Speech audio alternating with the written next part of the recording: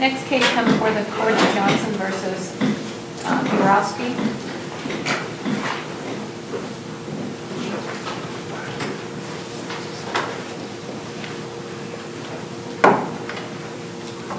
We're just like a minute early, ready to proceed?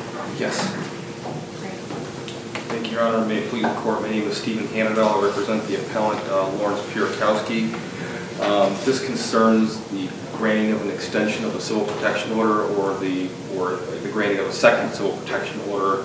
The first one was set to expire uh, in October 2014, and on the expiration date, the petitioner um, filed, went to the Medina County Domestic Relations Court and filed for another one asserting that she, you know, she was fearful of my client, Mr. Pierkowski. And the hearing was held in the following month, and in that hearing, uh, Ms. Johnson presented absolutely no evidence that she was under any fear of imminent serious physical harm, none whatsoever. Um, You know, there were no violations of the prior order that went, you know, that went for for the full five-year term. Um, you know, She asserted her basis of fear on the fact that my client challenged the, the merits and the validity of the first civil protection order um, several times. You know, we tried to appeal, which, you know, that didn't work out because uh, this court ended up uh, denying it on a technicality. And then he also later tried to do a 60B motion to introduce new evidence to show that the civil protection order was premised upon, uh, you know, uh, false information. And then he also later um, sued her in civil court to recover $50,000 that she took as a result of him being kicked out of the house by the civil protection order. He had $50,000 in cash in the home. And it's on those, it's on that basis that, uh, Ms. Johnson felt that she was, she was fearful of Mr. Pierkowski when, you know, all, absent of those things, there's no other indication that he ever went near her or had anything to do with her. Um, he was never even accused of a violation of, of, of that civil protection order. And the Must only there time. be a violation of the first CPO in order to get an extension of it? I, I didn't hear you, Your Honor. Must there be a violation of the civil protective order to enable the petitioner to get the order extended? There does not have to be one um, specifically, although I I think it counts toward the analysis when you look at totality of the circumstances.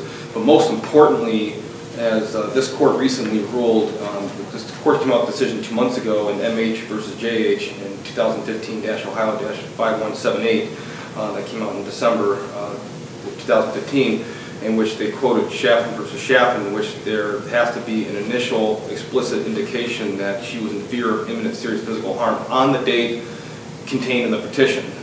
So basically, on the date that she files a petition, she has to show that at that moment in time, she's in fear, that she's in danger of serious physical harm. And in the hearing, subsequent hearing, she presented nothing to that effect whatsoever. It's just her own subjective fear based on the fact that he challenged the first civil protection order and then tried to get his money back. And then he, you know, took, they took her to court to get his money back. And so that, um, that is not, that, there's no, that is not a fear of serious physical harm. Uh, Mr. Pierkowski has every right to access the justice system to, uh, to make his claims. And there's nothing in the civil protection order that says he's not, that he's not allowed to pursue a claim in court uh, against the, uh, against the petitioner. And further, this court uh, wrote in MH versus JH two months ago, said, said that there's no indication from this testimony that MH even believed that JH would act violently toward her if there was no protection order in place. And that's exactly the case here. Ms. Johnson did not testify in any form or fashion that Mr. Pierkowski would act violently toward her in any way. Again, it's all about, you know, her subjective point of view, the fact that he took her to court and challenged the civil protection order and, and then sued her for the money that, that she took, um, that she feels that that, you know, puts her in danger somehow. And um, that's an awfully low standard, and that's, and that's way below the legal standard, which is that she has to show, just present some kind of evidence to show that she's in danger of serious physical harm. And she presented nothing, absolutely nothing, and um, you know, Mr. Pierkowski moved for a dismissal under Rule 56, Civil Rule 56, after Ms. Johnson presented her testimony, and the magistrate denied it, and then um, Mr. Mr. Mr. Pierkowski then testified on his own behalf, and then the magistrate still wouldn't uh, deny the petition, and said she grants the petition. So, and it's been a major problem in this, in Medina County where civil protection orders are being obtained on very, very low standards of proof. And so, um,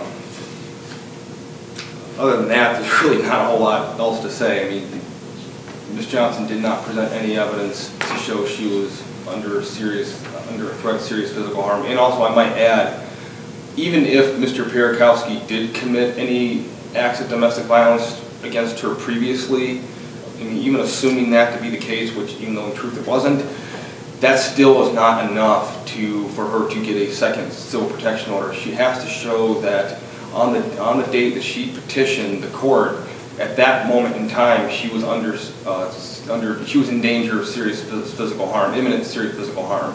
And she did not present any evidence to that effect whatsoever. So, if there are any more questions, I don't, I don't really have any much more to say to that. I think the case is fairly straightforward. Okay. Well, thank you, counsel. Thank you. And the court will um, make a written decision that we sent to you and the other side. Thank you. And we'll release it on our website. Thank you so much. The court will be uh, adjourned till